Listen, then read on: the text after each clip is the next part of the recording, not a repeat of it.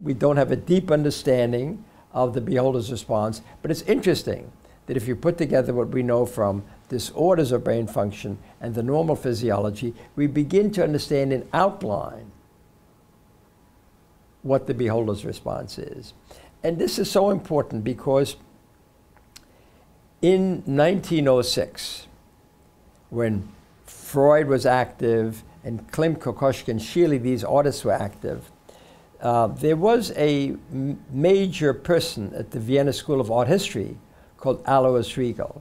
And he said, the problem with art history is it's going to go down the tubes because it's too anecdotal, it's too descriptive, it doesn't have enough of a science base. It's got to become more scientific. And the science it should relate itself to is psychology. And the key problem that it should address right off is the beholder's share. You have a painting, that painting is not complete until the viewer responds to it. It's obvious once you say it, you know, this is why it was painted in the first place.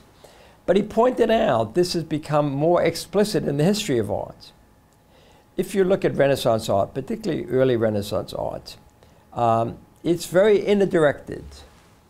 Uh, and he points to a uh, painting in Florence of the Trinity uh, in Santa Maria Novella, painted by Masaccio, which has one of the early paintings to show you a wonderful sense of perspective.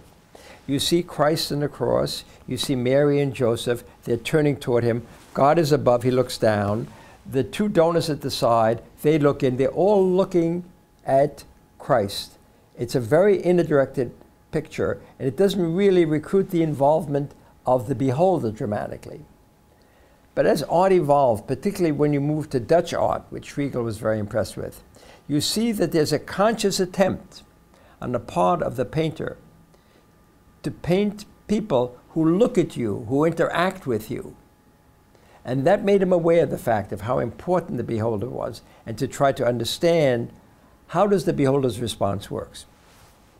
He had two very gifted students, Ernst Kris and Ernst Gombrich, and they began to put this on a really rigorous basis.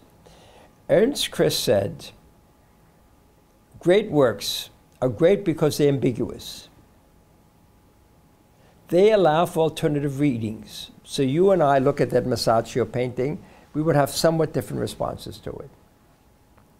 Um, which means that the beholder's share varies for each of us because we see somewhat different things in the painting. Now, what does that mean? He said, if that means that beholder share varies, that means you and I must be creating different images in our brain about that particular portrait. So even though you and I are looking at the same object in the world, we're creating slightly different visual impressions in our mind, emotional impressions in our mind by looking at this. And they began to document it. First he and then Gombrich showed you how you can trick the mind into alternate interpretations with illusions of various kinds. And they began to realize that when you look at a painting, you're undergoing a creative experience that is at least an outline similar to the painter. The painter ex exercises a dramatic amount of creativity in doing a portrait. But you yourself generate a fair amount of creativity in reconstructing it in your head and reconstructing it in a way that is unique for you and slightly different for me. This was a remarkable insight and has really given rise to sort of the current understanding of what goes on in our head. The painting, the Mona Lisa by Leonardo da Vinci, is generally considered one of the greatest masterpieces of Western art. And the reason it's so great is for the same reason we talked about before. It has a great deal of ambiguity. And ambiguity is what brings out differences of interpretation, makes, contributes to work being great. And with her, one of the very specific points of ambiguity is the nature of a facial expression. Is she smiling or is she not? And there's been endless discussions about this. And we want to understand why does that ambiguity arise? And there are two major interpretations. One is it's the form of painting that Leonardo used, in which he purposely paints over the edges of the mouth, a technique called sfumato, smoke. So it's a little bit hazy and not clearly outlined, then that gives rise to the ambiguity. And Marge Livingston has made the point it's how you focus on it. If you focus on it with central vision, which sees detail, you don't see the smile.